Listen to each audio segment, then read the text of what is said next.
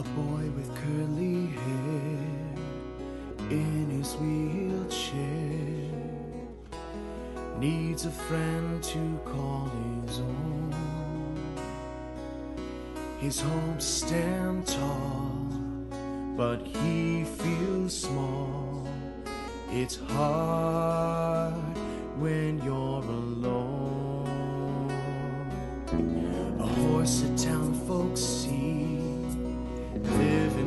dangerously is rescued and taken to a ranch.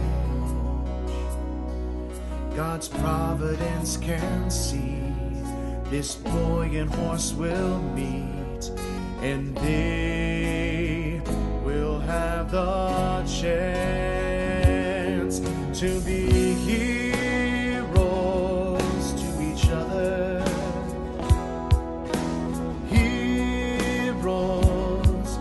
from the start. When a friend is there, it's an answer to a prayer.